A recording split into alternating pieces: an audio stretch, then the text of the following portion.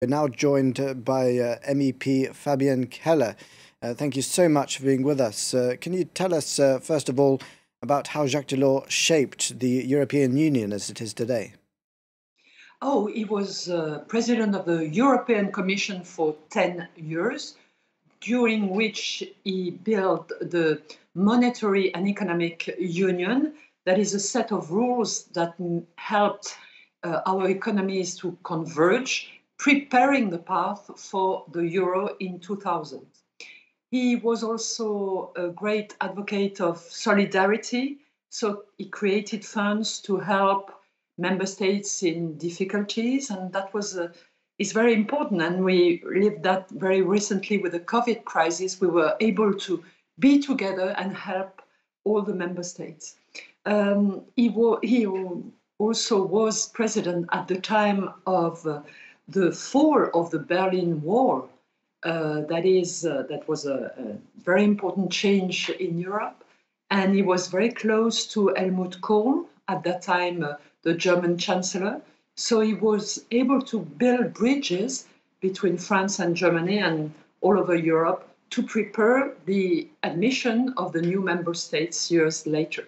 So he was a kind of great architect of uh, Europe we are living in today. Indeed, uh, president from uh, 1985 to 1995, so it fell right in the middle of his presidency, the uh, fall of the Berlin Wall. Now, he was a very strong character, stubborn, uh, many thought, having a, a, very strong belief also in centralized government in Brussels. This put him at odds with Eurosceptics. Uh, do you think this sometimes counted against him, or was it necessary to uh, achieve what was necessary? Not sure we can say he was uh, advocate of a centralized uh, uh, commission. He wanted a strong commission uh, making proposals, um, uh, helping him to develop his project for a strong Europe, again with great uh, solidarity between member states, efficient in terms of organization. So he he was president at the time of uh, uh, economic reforms, but also uh, he launched the Erasmus program that helped students going uh, all over Europe. He launched the Schengen area, that is the free movements in Europe and all the, the rules that go with that. Uh, so he was quite a reformist, willing to show that some issues are better managed at the European level.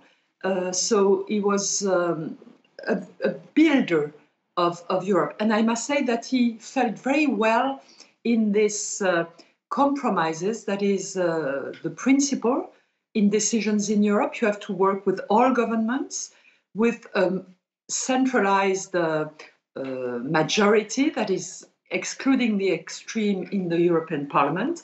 So has his own history with Chaban-Delmas, a center-right Gaullist prime minister he worked with, as you said in your report, and uh, with choosing Mitterrand center left later, he was really built intellectually also to um, respect all of the chief of governments and to make progress and to be re- heard by, by all the European leaders and to share his views. So maybe that's the reason why he felt better at the European level rather than in the French system where it's more left against right part of the political spectrum.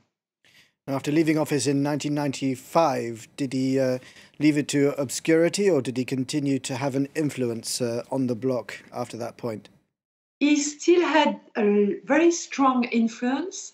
Uh, he would always be very loyal to his uh, socialist friends. You, you, showed how he supported Jospin and Ségolène Royal candidates for the French presidency, but he developed also his ideas in his own foundation called initially Notre Europe. That's very inclusive, huh? showing that it's our Europe, the Europe we share, and now it's called uh, the Foundation uh, Jacques Delors, developing uh, all sorts of programs for young leaders, for intellectual ideas, to organize, organizing meetings among people of different opinions, but who all believe in Europe. So he continues his uh, uh, his task, but in not anymore in a such so political way.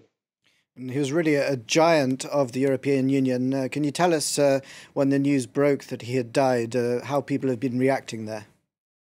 Oh, people was very sad because he's an image.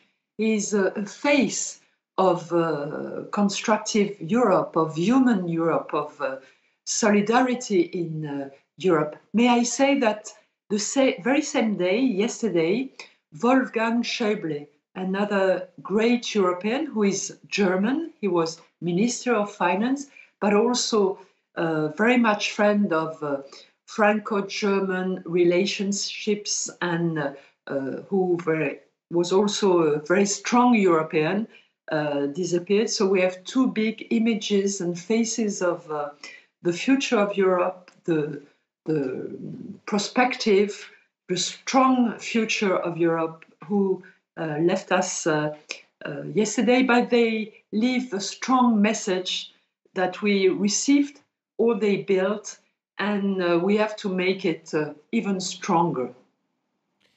Fabienne Keller, thank you so